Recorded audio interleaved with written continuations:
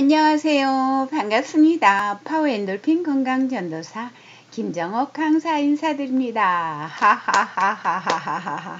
김정옥 강사가 한복 모델을 했었거든요. 그때 찍은 거 잠깐 보여드렸습니다. 스쿼트 운동 좋은 자세 저렇게 해갖고 쑥 올라가면서 하는 거 잠깐 보여서 스쿼트 운동 다리 건강하신 분 열심히 하시면 하체가 건강해집니다. 여러분들, 어, 제가 어, 꿀팁 하나 알려드리려고 그래요.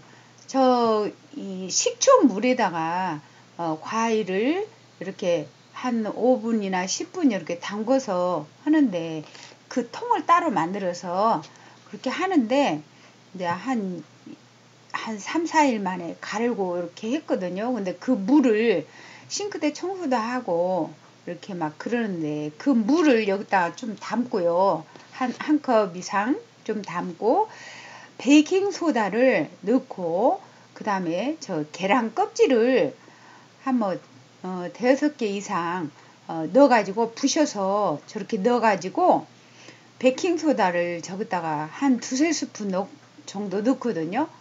해갖고 저렇게 하니까 와 이거를 수세미에 묻혀서 그 예를 들어 참외든 토마토든 뭐한두 개든 세 개든 이렇게 씻어 가지고 바로 있잖아요. 씻어 갖고 물에다 한 그냥 맹물에다가 잠깐 담궜다가 먹으면 너무너무 깨끗하게 저 베이킹 소다를 많이 넣어서 참 뽀득뽀득 잘 지는 거예요. 약간 미끄덩거린 그 농약 성분 그런 거 있는 것도 그래서 너무 좋더라고요. 그래서 이렇게 한동안 쓰다가 아 이거 좀 알려드려야 되겠다 싶은 생각이 드는 거예요. 그래서 어 제가 이제 통에다 따로 식초물을 담아놓고 하던 걸 안 하고 요거로만 하고 있어요. 어 요렇게 해갖고 베킹소다로 팍팍 문질러서 과일을 씻고 또 이제 이걸로 과일만 씻는 게 아니라 그 있잖아요. 접시나 기름기 있는 그, 그 그릇 있잖아요. 설거지 할 때. 그것을 이거의 수세미를 이렇게 그냥 꺼내서 닦으면 너무 잘 지는 거예요. 그렇게 좋을 수가 없는 거예요. 트리오를 안 넣어도 잘 져요. 기름기 많은 것만 트리오 조금 치면 되고요. 안 넣어도 애지가는 건다 어, 접시라든가 뭐 그런 거 일반 이렇게 어, 나물 기름기 약간 있는 것도 다 잘 져요. 그러니까 여러분들도 해보세요.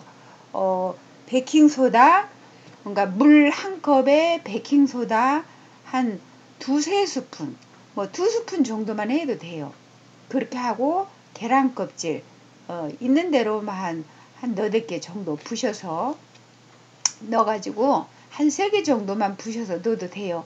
그렇게 이렇게 하시면은 너무너무 소독이 되고 또 식초 물을 이제 뭐 이렇게 들어가 있잖아요. 한 컵이. 그래 놓으니까 완벽합니다. 아주 뿌덕뿌덕하니 너무 좋아요. 그러니까 여러분들도 꼭 해보시기 바랍니다. 트리오를 가능하면 안 쓰는 게 좋잖아요. 이 오염도 줄이고 그러니까 어, 여러분들 꼭 활용해 보시기 바랍니다. 아주 꿀팁이에요. 너무 좋더라고요. 어, 과일 씻을 때 어, 활용하시고 하시면 좋아요.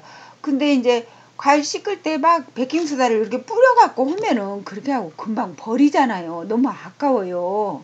그래서 저렇게 해가지고 하니까 어, 수세미에다가 뭐 식초 물까지 같이 있으니까 얼마나 좋아요. 꼭 해보세요. 좋아요, 구독, 댓글 꼭 남겨주세요. 감사합니다. 다음 영상에서 김정옥 엘빈 건강 TV와 함께 해요. 사랑합니다.